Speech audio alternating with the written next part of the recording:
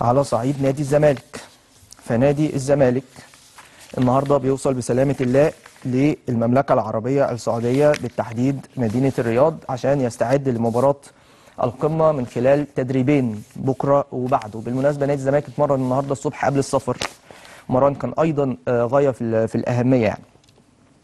اللي كان بيصاحب بعثة نادي الزمالك النهارده الكابتن حسين لبيب آه، رئيس مجلس إدارة ال- النادي الكابتن أحمد سليمان عضو مجلس الإدارة آه، رامي نصوحي آه، عضو أيضا مجلس ال- الإدارة.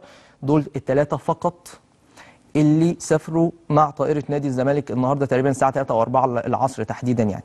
بالمناسبة أنا عجبني أول مرة دي إن الأمور متنسقة في نادي الزمالك. يعني مش كل المجلس سافر.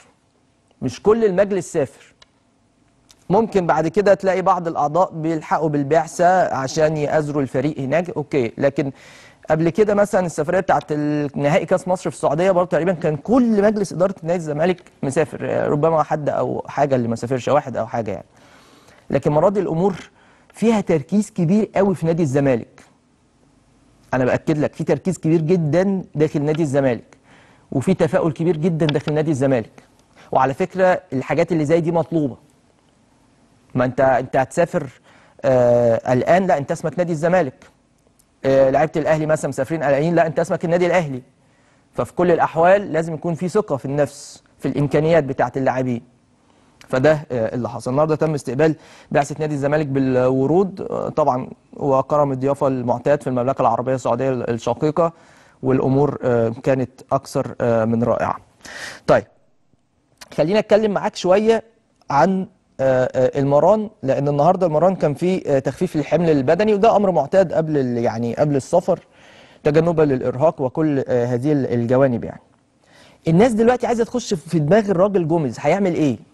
لأن جوميز بين نارين جوميز بين نارين ليه؟ هو عنده صفقات جديدة ومحتاجها محتاج يلعبها أساسي وفي نفس الوقت هو قلقان على الصفقات دي خايف تتحرق. فاكرين زكريا الوردي لما لعب ماتش الأهلي في السوبر اللي فاز فيه الأهلي السوبر المصري هناك في الإمارات اللي فاز فيه الأهلي 2-0 هدف آه، آه، برونو سافيو ساعتها اللاعب البرازيلي وكريم فؤاد. الراجل زكريا الوردي لعب الماتش ده ومحدش شافه. روح على المغرب. روح على المغرب. وكان هو السبب في الهدف الأول وبتاع. فالحتة دي في حسابات جوميز. تمام؟ قبل ما آخد المداخلة المهمة جدا معايا خليني أشرح لك سريعا سريعا كيف يفكر جوميز في الجوانب الخططية الخاصة بهذه المباراة أو حتى على صعيد التشكيل. الراجل بيفكر في إيه؟ في كلام على إنه مش عايز يبتدي محمد حمدي وعايز يبقى عمر جابر شمال ومحمد شحاتة يمين. بس قد يجبر بإنه يلاعب عمر جابر يمين ومحمد حمدي شمال. ليه؟ لأن في تقل في العضلة الخلفية عند دونج. فالأمور هتتضح. فالتقل ده ممكن يخلي محمد السيد اللاعب بتصاعد في الحسابات لأن هو لاعب وسط. فأنت هيبقى عندك مين؟ هيبقى شحاتة بس اللي في نص الملعب. هيبقى قدامه عبد الله وناصر.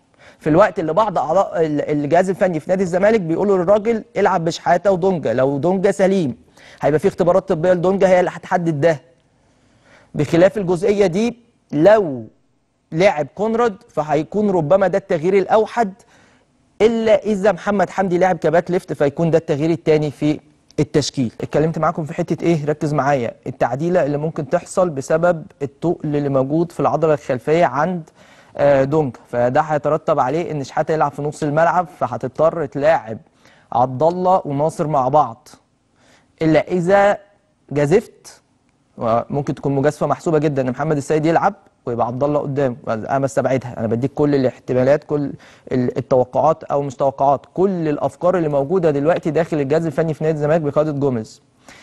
الجزئية الأخرى الزمالك في الماتشين اللي لعبهم بتوع آه، الشرطة الكيني كان في تعديل واحد. الماتش الأولاني لعب حسام عبد المجيد الماتش الثاني لعب الزناري.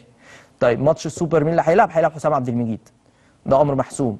وبالمناسبة هقول لك على حاجة أكتر. الراجل شايف إن حسام عبد المجيد ومسلوسي مسلوسي كده كده مفيش خلاف على إمكانياته. حسام عبد المجيد هو شايف إن في أزمة ثقة فقط لا غير لكن هو بيقتنع جدا بإمكانيات حسام عبد المجيد. رؤية جوميز هو لاعب جيد.